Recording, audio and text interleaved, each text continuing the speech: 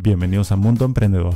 Hoy te explicaré cómo habilitar las miniaturas personalizadas y también, muy importante, a cómo colocarlas correctamente para que te aparezcan al momento de publicar tus videos a YouTube.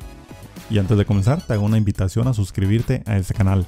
Subo videos muy interesantes todos los días, así que comencemos con la explicación.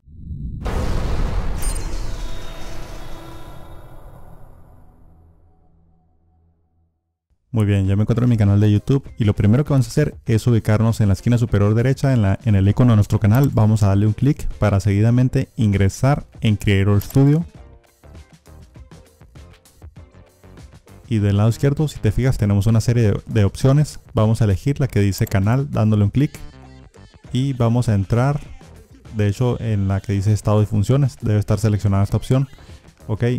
Y bueno, lo que quiero decirte es que si tú quieres colocar tus miniaturas personalizadas en tus videos, necesitas ser un socio verificado. Eh, si te fijas aquí abajo, en este cuadro dice miniaturas personalizadas. Yo lo tengo habilitada. Y la tengo habilitada porque ya cumplí con el proceso de verificación. Entonces necesitas verificar tu cuenta. Eh, en tu caso, si no lo tienes habilitado, aquí te aparece un botón, un botón que dice verificar. Simplemente le vas a dar un clic y es seguir dos pasos. Ya que le des clic, te va a mandar al paso 1 y en el paso 1 te piden verificar tu cuenta por teléfono, ya que con esto vas a poder desbloquear funciones adicionales en YouTube y eh, con esto vas a poder eh, YouTube se va a poder asegurar de que tú eres real y no eres un robot.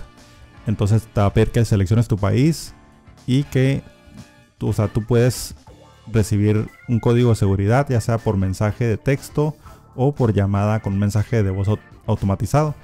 Eh, tú eliges la opción y colocas tu número de teléfono y le hacen enviar. Después te va a llevar al paso número 2, en donde simplemente tienes que colocar el código de seguridad que te mandaron a tu número celular, lo ingresas en la casilla y le hacen enviar.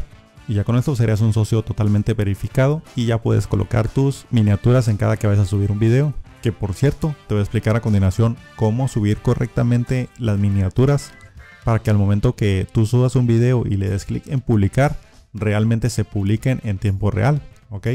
Para eso nos vamos a ubicar en la esquina superior derecha, en donde se encuentra este pequeño icono. Si te fijas dice crear un video, ahí vamos a darle un clic. Y seguidamente damos clic en subir video. Entonces ahora sí vamos a colocar rápidamente el video que vamos a subir en este momento. Yo ya lo tengo identificado, aquí está, le damos en abrir.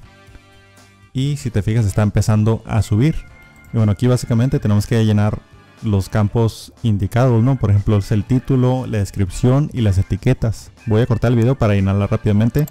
Muy bien, lo que te recomiendo es cambiarlo de público a privado.